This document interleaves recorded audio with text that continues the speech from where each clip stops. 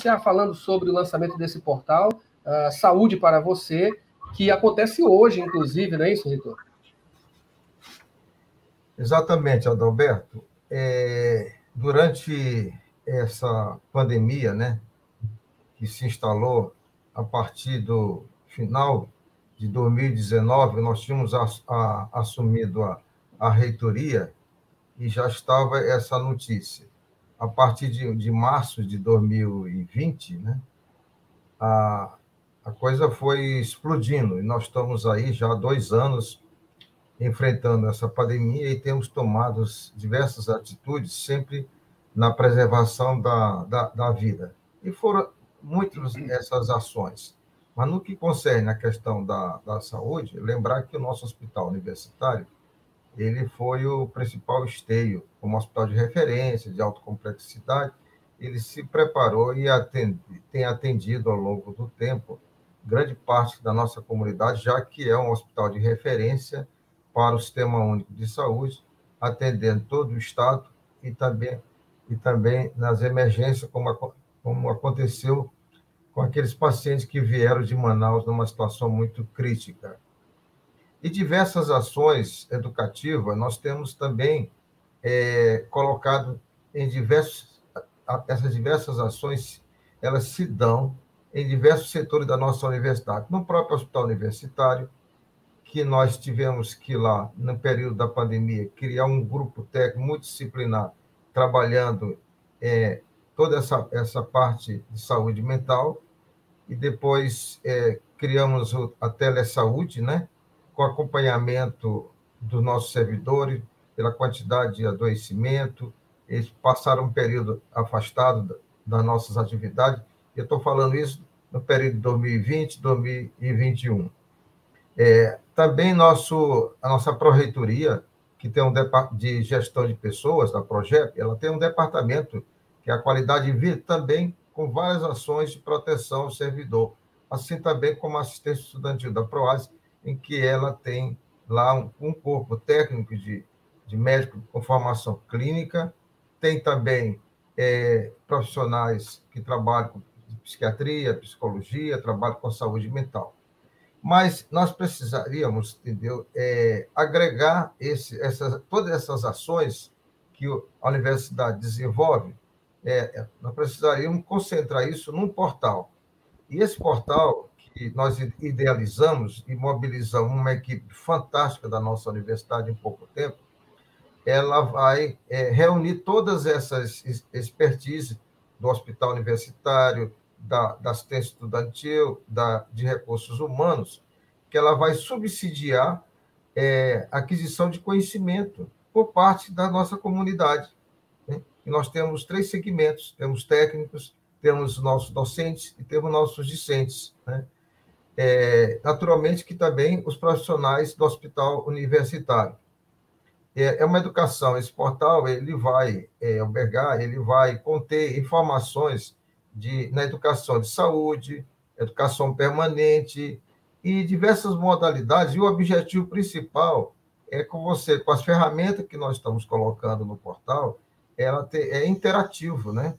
É, e esse concursos, nós vamos ter treinamentos, vários webinários, dentre outras iniciativas que nós vamos é, trabalhar. Esse portal, é, que nós demos o nome, é, que foi a partir do, de várias iniciativas nossas, a partir do compromisso que nós tivemos quando assumimos a reitoria agora no terceiro mandato, que é cuidar bem da universidade. Quando se fala em cuidar bem da universidade, não é só da parte física, mas sobretudo das pessoas.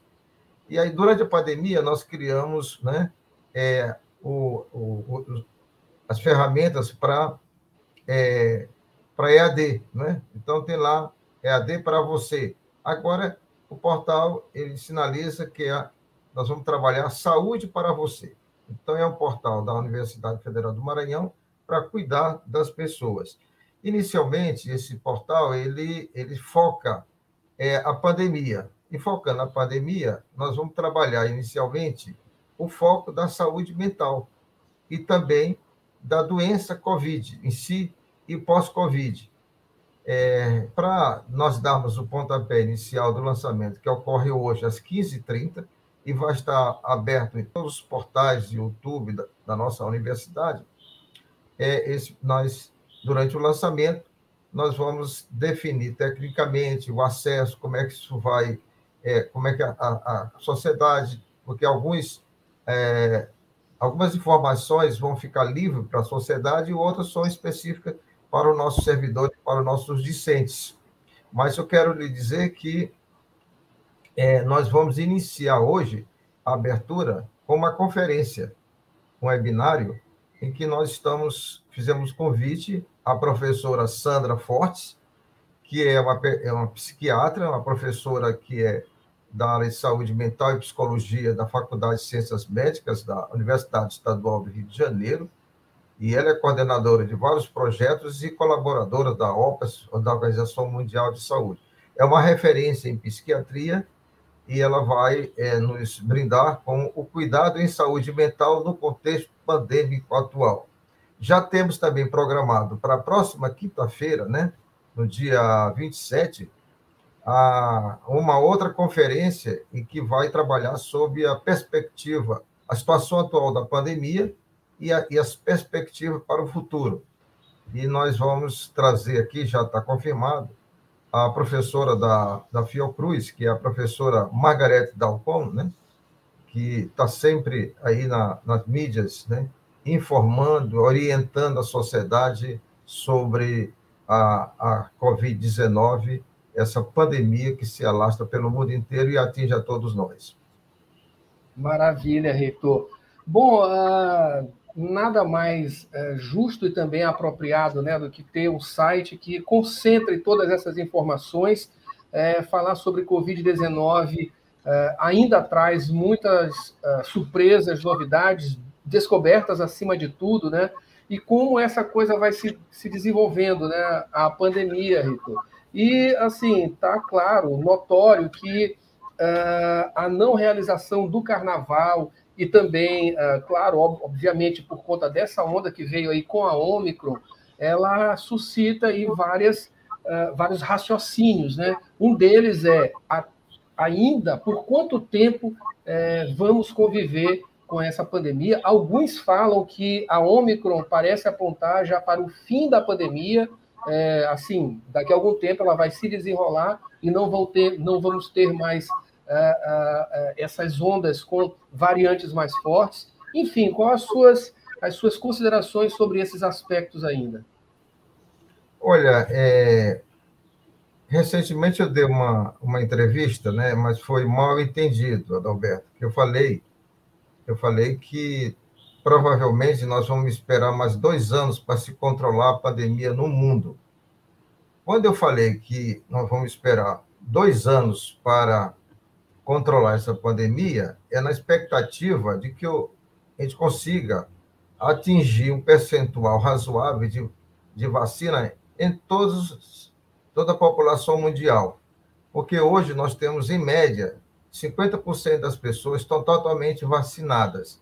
Mas se você pegar alguns países do continente africano, tem 3%, 4%, 7%. Ou seja, tem uma população ainda grande de pessoas que estão em países subdesenvolvidos que não estão, não estão recebendo vacina.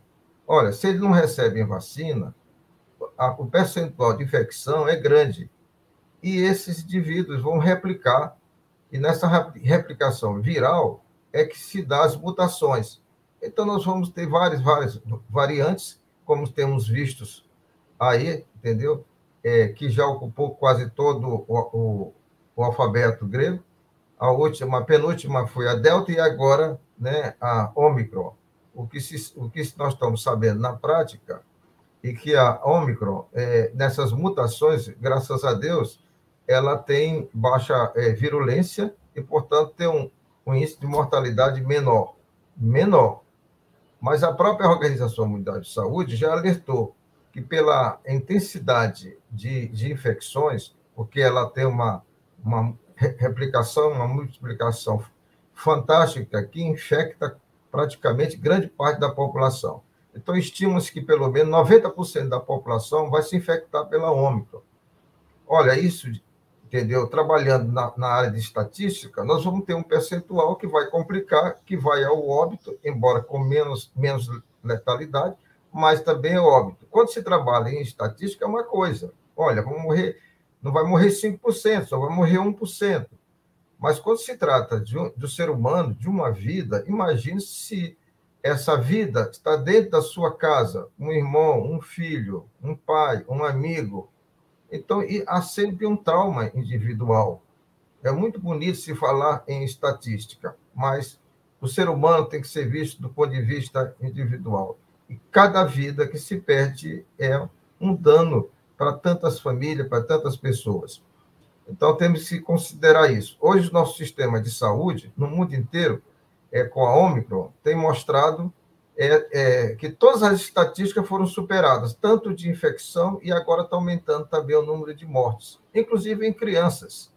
Graças a Deus, nós estamos iniciando né, a vacinação nessa população e, e vacinando parte dessa, dessas crianças, né, de 6 a, a, a 11 anos de idade, isso pode entendeu, atingir mais de 10 milhões de crianças, que somado o percentual que nós já temos de vacinação, nós estamos hoje se aproximando de 70% né, da vacinação é, total, que são as duas doses, ou então a, a vacina que tem dose única.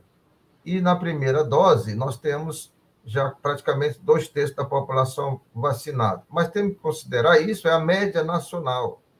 Mas, mas no Brasil, nós temos estados como o nosso, que agora que atingiu 51%. Então, nós temos quase metade da população do Maranhão ainda não está totalmente vacinada.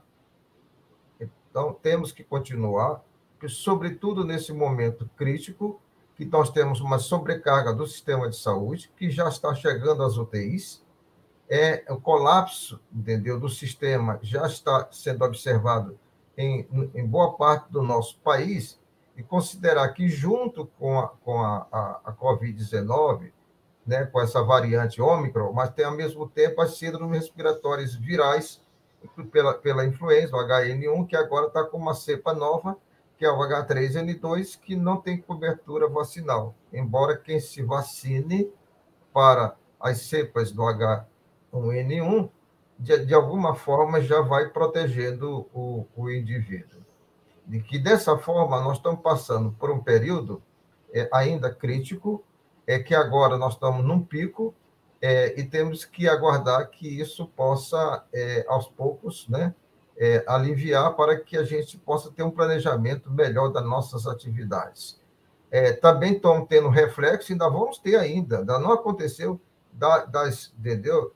Das, das alegrias, né, das festividades do final de ano. E, e as aglomerações ocorrem no mundo inteiro, no Brasil não é diferente, em todo, para todo lugar é, as, as aglomerações, entendeu? Se fazem presentes de modo que é como se a vida estivesse normal. E o vírus está se multiplicando, né?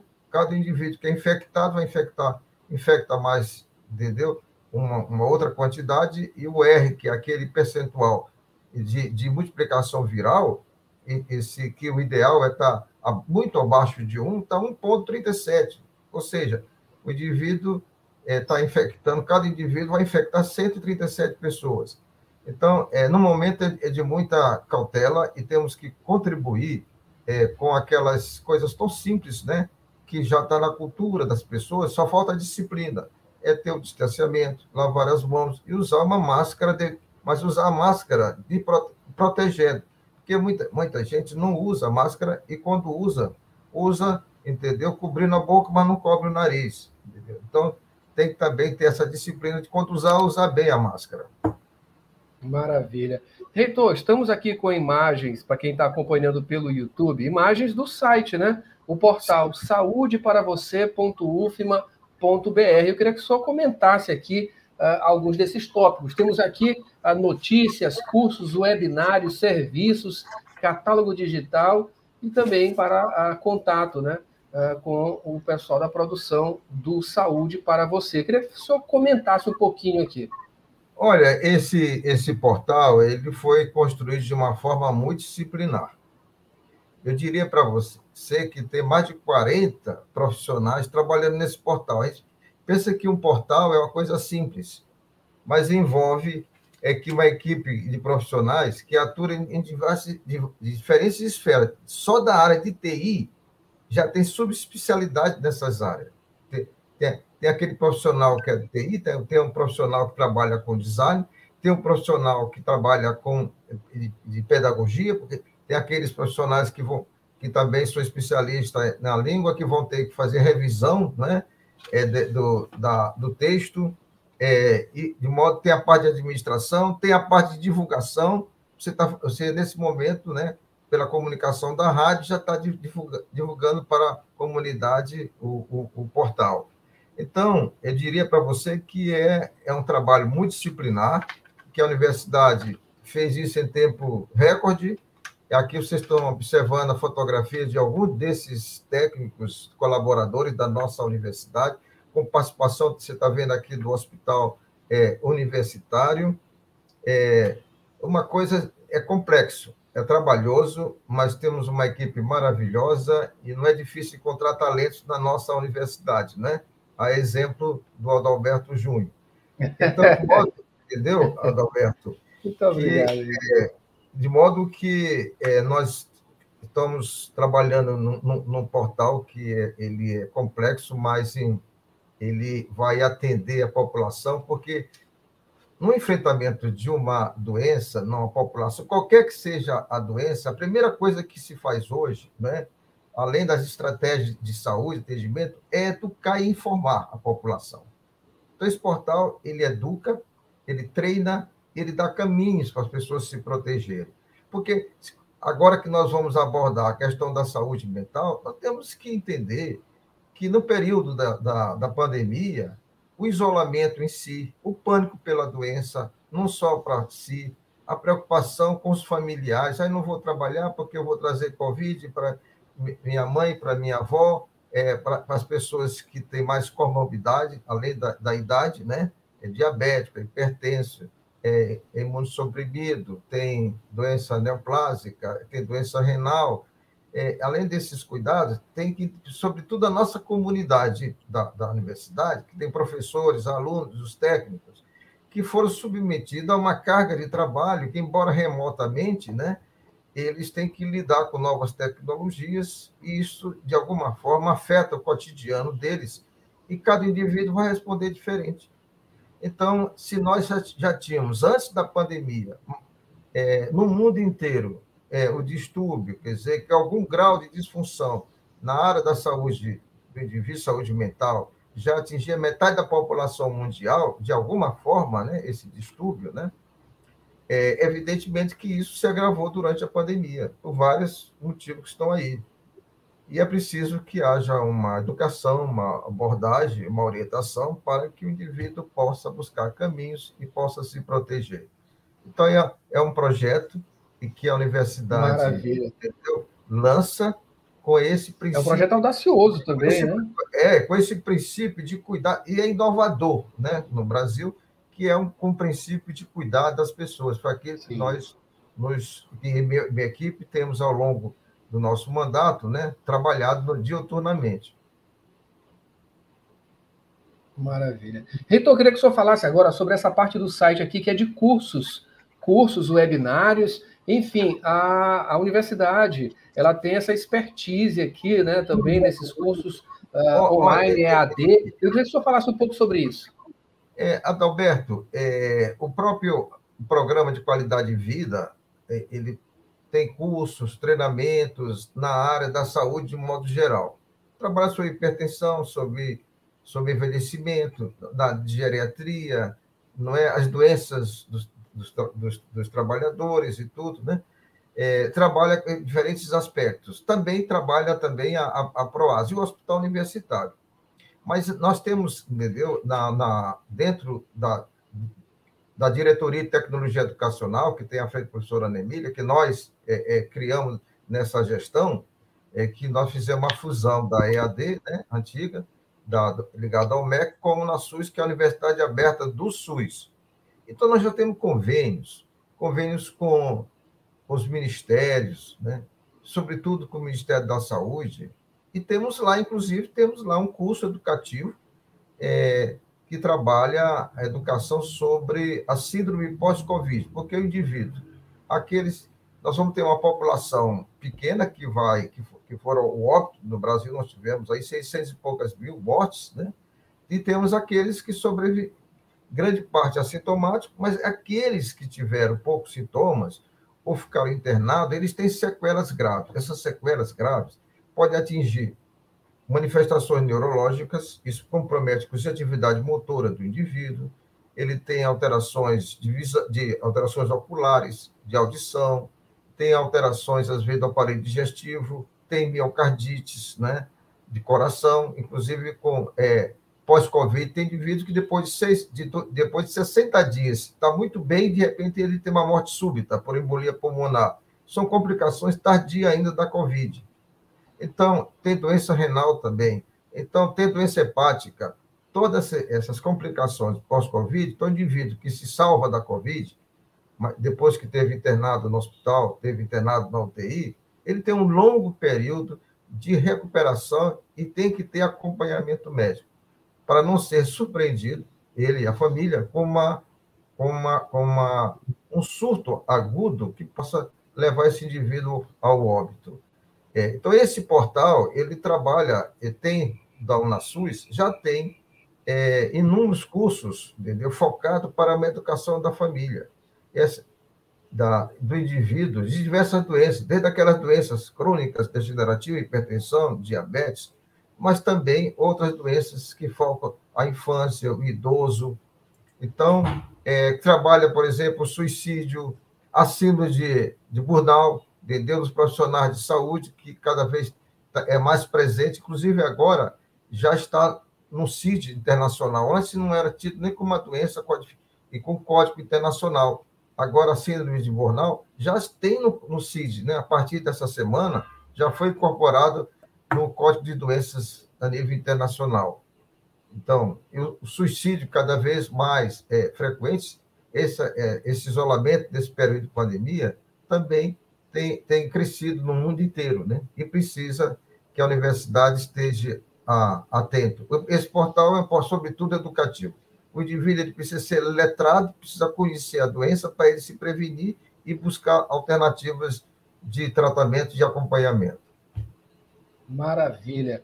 Aqui também tem a cartilha da saúde estudantil, né? Que é muito importante uh, termos essas observações desse portal, né? É, você não, olha, você não imagina a complexidade e a trabalheira. Esse grupo que você mostrou aí, várias personalidades aí, né? Era é porque não dá tempo a se destacar cada indivíduo, o que, que ele faz num portal desse. Mas isso, é, essa ideia que nós é, tivemos, né? E colocamos, mobilizamos essa equipe, e agora é comum de fazer aquele grupo no WhatsApp, de repente nós estávamos com 30, 40 pessoas trabalhando nesse projeto, eu quero te dizer que isso só tem no máximo 10 dias. Em 10 dias, a universidade fez toda essa engenharia para apresentar, a partir de hoje, esse, o portal da saúde para a comunidade universitária. Maravilha. E é só em saudeparavocê.ufma.br. Hoje acontece esse webinário. Essa, a, a, palestra da, de, de abertura, né? Da conferência da professora Sandra Forte, ela vai estar no YouTube, nos canais nossos, entendeu? de TV, de tudo, vai estar aberto para o público, né? não é só para a comunidade universitária, a partir das 16 horas. E já tem uma palestrante, que é a professora Margarete Dalcom, que é da pesquisadora da Fiocruz, né? que lançou um livro recente, né? é sobre, sobre Covid, né? dos textos que ela publica na, no jornal o Globo. Vai estar prevista a palestra dela para as 16 horas, das 16 e 30 minutos da próxima quinta-feira. Maravilha. Reitor, a gente já pode passar para o, o, o, outro assunto que a gente vai tratar aqui, que é justamente pode, o calendário? Pode, pode sim. Maravilha. Bom, vamos começar, então, portanto, de uma parte, digamos assim, um pouco, é, eu não digo polêmica, né, mas que chama a atenção, né? Questionamentos sobre a, a comunicação da universidade, da instituição com o aluno, né? Enfim, Alguns têm reclamado aí que essa coisa não vem funcionando, não está acontecendo. Eu queria que o senhor falasse, eh, começasse falando sobre isso, como está esse acompanhamento também com alunos, enfim, e a explicação né, da coisa toda de como foi aprovado esse calendário. Olha, você sabe, entendeu, é, que a universidade ela tem, por princípio, é, deliberar suas ações é, por meio é, de seus colegiados. Um, e nós temos três colegiados. Nós temos um chamado CONSAID, que é o do Conselho Administrativo, que esse é, é mais foca a, as áreas de administração. Temos o CONCEP, que foca mais o ensino e pesquisa, né, e extensão. E temos o, o CONSUL, que é o Conselho Universitário, que esse é o maior que, a, que compõe todos esses conselhos, esses, tanto o CONCEP, tanto o CONSUM, né? Eles se unem, como é o CONSAD, eles se unem para formar o conselho. Hoje, é, com o novo estatuto, é, o consumo tem mais de próximo de 90 é, é, membros. E esses conselhos são altamente representativos. Então, nós temos, por exemplo, 12 alunos do DCE, que foram, legalmente, eles são representantes e estão lá, é, tanto no CONSAID como no CONCEP, e, portanto, no consumo temos vários sindicatos, associações, várias representações. Agora mesmo, é, no, durante, no, nesse, no consumo agora, nós temos também, e no CONCEP, a presença da FAPEM, representante da FAPEM, da Associação Comercial, também temos representação da sociedade, Academia de Letras. É um conselho amplo que reflete ali a sociedade. Eles são eleitos pelos seus pares. É como se fosse o Congresso Nacional. Né? Então, que nós, a, a, comunidade, a população elege o seu deputado, seu senador, e a, e a, e a universidade, é, seus departamentos, seus cursos, vão elegendo, por eleição direta, vão elegendo seus representantes. E, no final, você tem, um, tem esse colegiado. E nós, é, é, a, prerrogativa do, do reitor é convocar esses conselhos para eles tomarem decisões. Isso é que é democrático para a nossa universidade. Até eleição para reitor, você tem que fazer a composição da lista nesses conselhos, né? É, além disso, ainda temos o conselho diretor, né? Que é, que é o conselho que está mais focado é formar, está presente na formação do colégio eleitoral e também quando lida com o patrimônio da universidade. Mas nós fizemos mais, Adalberto. Nós fizemos uma pesquisa e que tem participação nessa pesquisa é, proreitores, proreitor de extensão, proreitor de assuntos estudantil, presença do vice-reitor, técnico da DI, no caso do, do, do Anilton, e tem também a professora Li, Li Shang, que é também da comunicação, e ela também ajudou a coordenar essa pesquisa. Uma pesquisa ampla, é, em que nós é, é, fomos é, buscar a satisfação é, com inúmeras perguntas sobre o ensino híbrido e suas consequências, né? É, e essa manifestação, então, da comunidade nos subsidiou a elaborar uma resolução, e essa resolução, então, democraticamente, foi para o CONCEP, e o CONCEP aprovou por mais de 40 votos a favor, ou seja, foi praticamente por unanimidade, apenas um voto, 100% da representação estudantil, entendeu? É, votou a favor, e apenas tivemos um voto que foi da associação Aproma. É, na universidade, tudo é polêmico na universidade, isso faz parte da democracia, né? nós não vamos agradar a todos. Nós temos é que ter atitudes e, e dar encaminhamento daquilo com serenidade, daquilo que é melhor para a nossa instituição. Porque às vezes as pessoas também nem leem os documentos e já vão criticando. A, a, a resolução que nós publicamos em maio de 2020, a primeira resolução, eu diria para você que essa resolução, entendeu? Ela já que implantou o trabalho híbrido, e para implantar o trabalho híbrido, veja bem, nós antes suspendemos todas as atividades, todos bateram palma na comunidade, ninguém reclamou. 60 dias, nós suspensão total do calendário, era um período crítico da pandemia logo no início, nós fomos protagonistas e logo em seguida outras universidades fizeram o mesmo. Aí fizemos um período de planejamento, fizemos pesquisa, atendemos nossos alunos com tablet, com é, internet, entregando o chip, foram quase 5 mil chips para nossos alunos. A satisfação foi grande.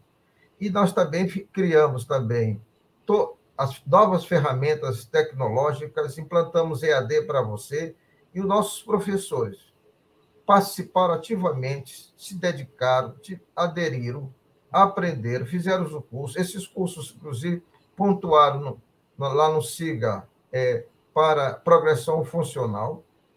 E depois nós, então, implantamos o calendário. Entendeu? E esse calendário é um dos no formato híbrido, e lá dizia o seguinte: olha, nós vamos dar agora aula remota, vocês vão para casa, mas vai continuar também presencial. Nós nunca suspendemos atividade presencial na universidade, mesmo no período crítico da universidade, se ninguém fala. A, a pós-graduação não parou, Adalberto, em nenhum minuto. Nós continuamos produzindo, os laboratórios funcionando de pesquisa e a produção científica nessa área até melhorou da universidade melhoramos nossos indicadores. Na graduação, nós retomamos atividades práticas com a presencial de praticamente todos os cursos da área da saúde. Olha, nós formamos, nesse período, 3 mil alunos na área da saúde. E formamos, no total, toda a universidade, 7 mil alunos. Eu não posso formar 7 mil alunos se esses alunos não tivessem tido, pelo menos, uma, entendeu? é, práticas, entendeu? É, seja, entendeu? Em qualquer tipo de atividade de, de componente curricular, incluindo o estágio. E mais do que isso, nós nos mobilizamos para vacinar com prioridade professores, os nossos alunos, pactuamos isso com a Secretaria de Saúde, o hospital, nós colocamos a universidade com dois postos de vacinação, é, cedemos o, o, nosso centro de convenções, que é o maior do Estado, cabe 5 mil pessoas lá, não tem outro no Estado, e colocamos também, entendeu? É o drive-thru também.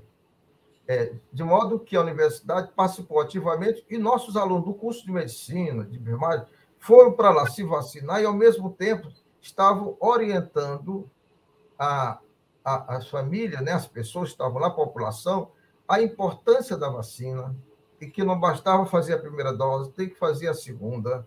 Isso foi publicado todo no site, isso é público.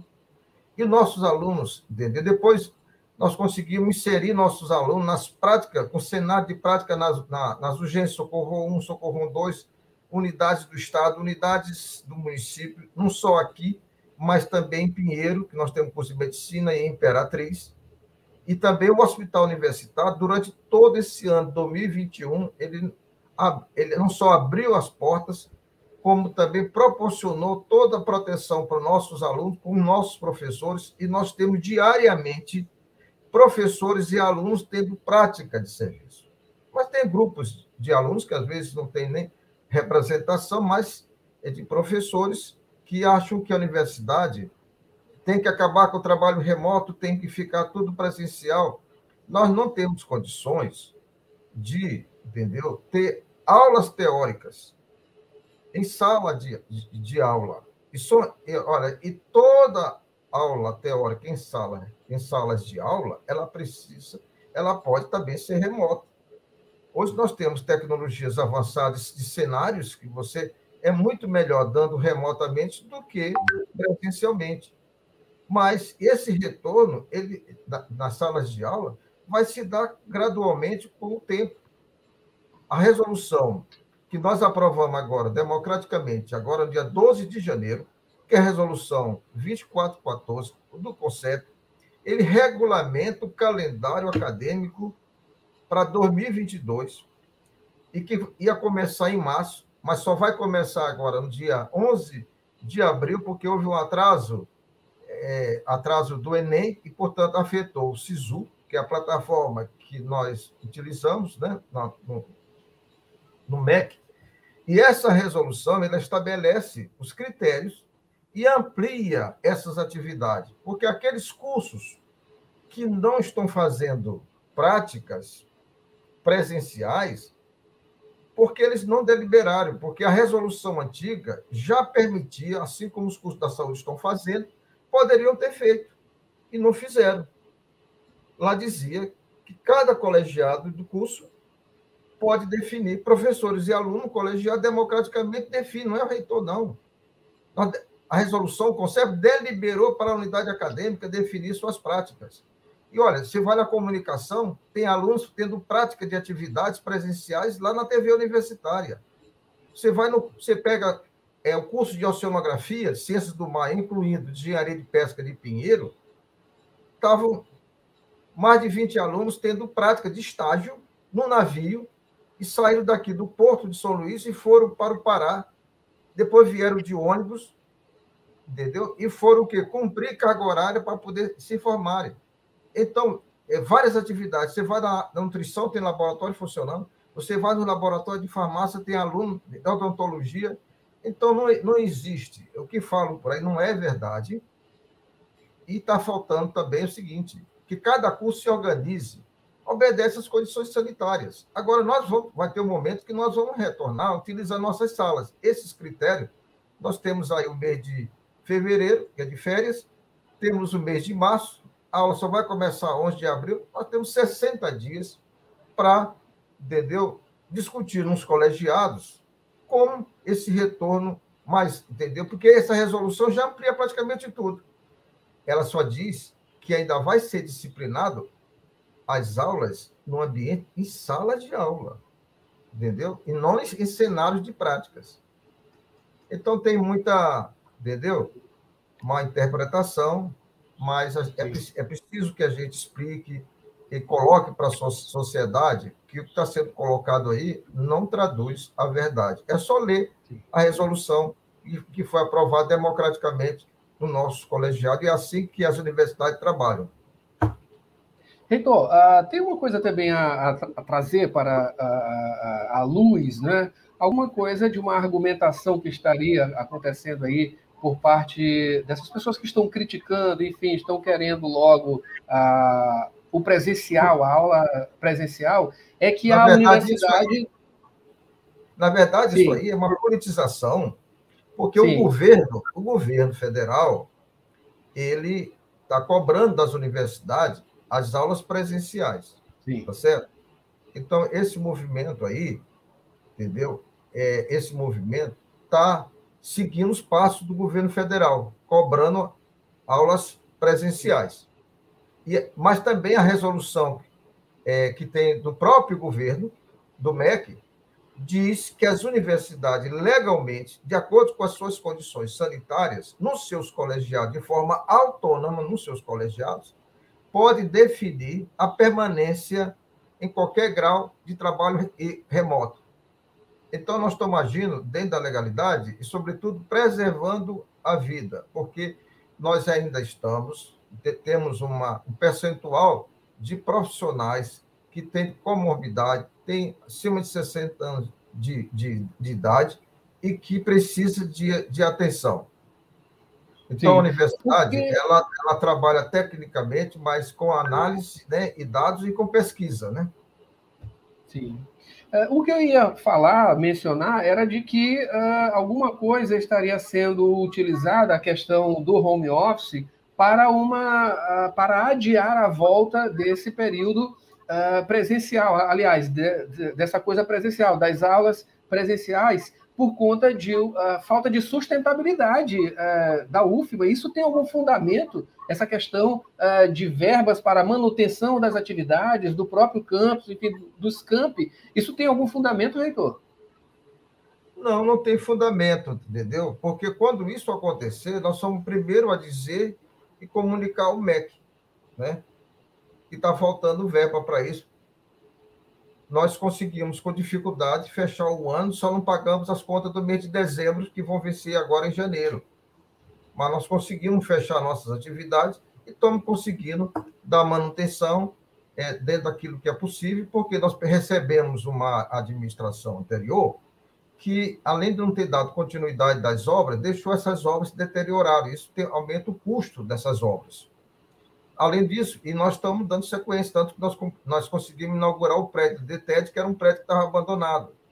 E, e também conseguimos também recursos para iniciar as obras da biblioteca, depois de uma demanda jurídica, entendeu? E a velocidade da, da, do que está sendo feito na biblioteca não depende da administração, depende da empresa.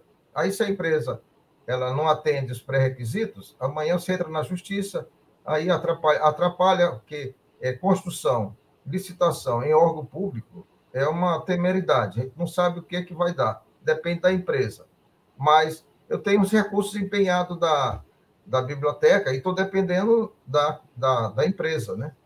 E aí não cabe ao, ao, ao reitor, porque nós temos nossos órgão de fiscalização da engenharia, temos departamento jurídico que toma, de gestão que toma conta dessas, dessa desenrolar de uma, de uma determinada obra, entendeu? Então, isso não procede. As, as soluções que nós estamos dando, ela é técnica e, e ela trabalha em diagnóstico científico e da preservação da vida.